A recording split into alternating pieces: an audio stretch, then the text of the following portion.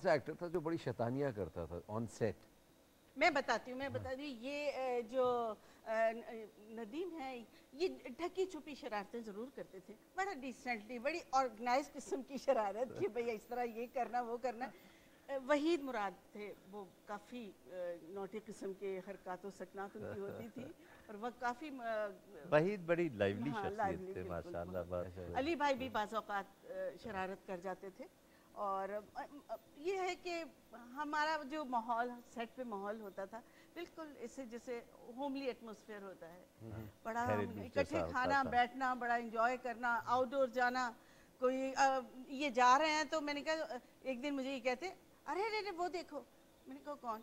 अरे इधर आओ सब देखो वो निशो जा रही है। मैंने कहा अरे नदीम इस तरह की बातें मतलब हम लोग बहुत इंजॉय करते थे। निशो आसिफ साहब अदनान आप लोगों का बहुत बहुत शुक्रिया प्रोग्राम में आने का।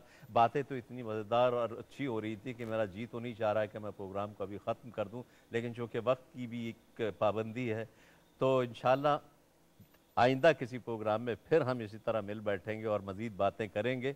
तो मैं प्रोग्राम को ख़त्म करने जा रहा हूँ और आप लोगों का एक बार फिर दिल की गहराइयों से मैं शुक्रिया अदा करता हूँ। नाजरीन आज आपने हमारे मेहमानों की बातें सुनी, प्रोग्राम को देखा। आप हमें बताइएगा कि आपको प्रोग्राम कैसा लगा। आपकी राय का हमें शिद्दत से इंतज़ार रहेगा। अपनी राय से हमें ज़रूर नवाजिएगा। अल्लाह हाफ़िज़।